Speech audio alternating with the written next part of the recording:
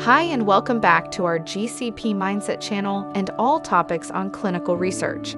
Today, we'll give some information on crossover and sequential studies. More after the intro.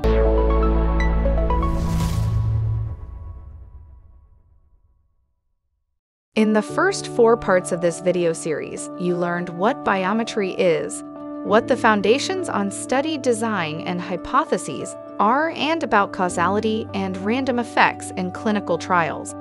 If you haven't already, you will find the videos in our CRA Basics playlist. We strongly recommend to watch them first.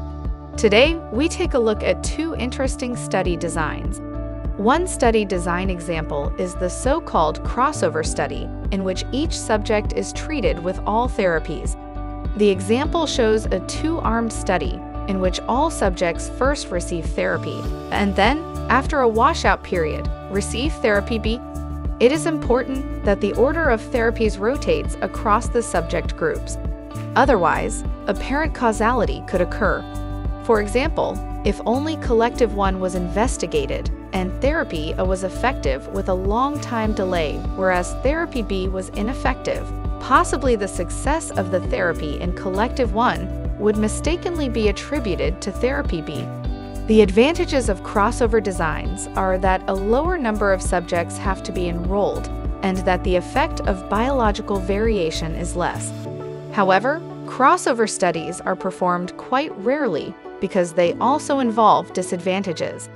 These include a longer burden for subjects due to the use of both therapies, including the washout period, the longer duration of the study and the obscurity of whether the washout was complete or not. Sequential studies have an interesting study design, which is often also referred to as adaptive study design. These start with a small group of subjects being treated with the study therapy.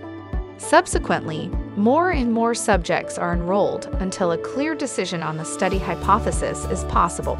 In the diagram, this case applies to the point where the graph representing the subjects exceeds the threshold value for a significantly effective result or falls below the threshold value for a non-significantly effective result. Hence, the decision on the result of the study will not be made after the investigation of a previously defined population, but will rather be made in the course of the study. An advantage of a sequential study is that the aim of the study may possibly be achieved much earlier and with a lower number of subjects than originally planned. Disadvantageous, however, is that the duration of the study and the number of subjects are random magnitudes. If there are small effects, the overall duration of a sequential study may clearly exceed the overall duration of a non-sequential study of equal size. The decision on the study design depends on the following four factors the hypothesis, the type of objective, the organizational conditions, and the expenses. The hypothesis refers to the extent of the effect to be measured. The objective refers to the type of effect. The organizational conditions are, among other things, related to the frequency of the relevant disease, the type of study sites participating in the study, registered physicians versus hospitals, or to the number of already authorized comparative products. Ultimately, expenses play an important role as well because studies cannot always be financed to the desirable extent. So much for today on crossover and sequential studies. We hope that we could give you some interesting information and look forward to see you next time.